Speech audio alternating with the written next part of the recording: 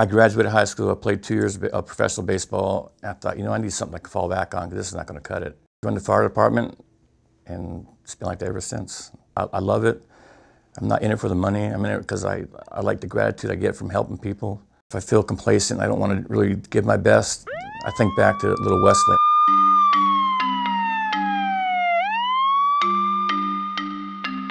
The ER curtain was open, and both parents were there crying just to look in her faces with, please don't give up my child, please.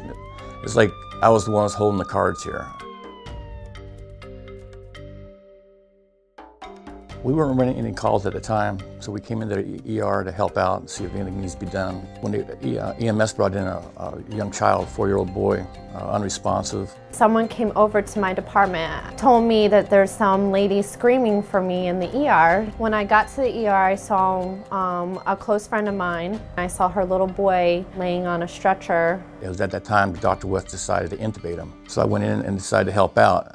I, so I took over breathing for the child. He did that for approximately two hours. And I remember the mom asking me, you know, is he going to be okay? Does someone need to relieve him? And I was just trying to reassure her. I just felt a special bond and then seeing the parents just look at me like, please don't give up.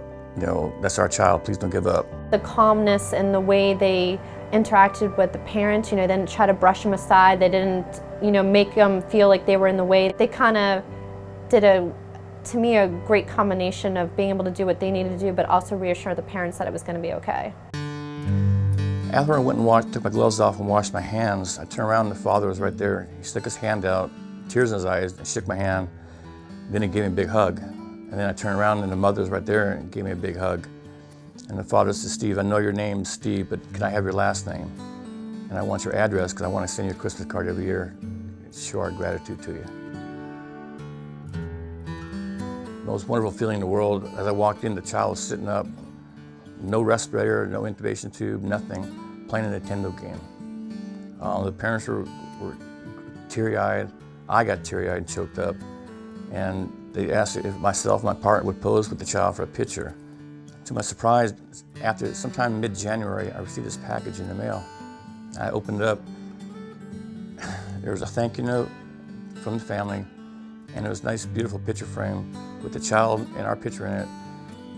It says, uh, to Mr. Roberts, with love, Wesley.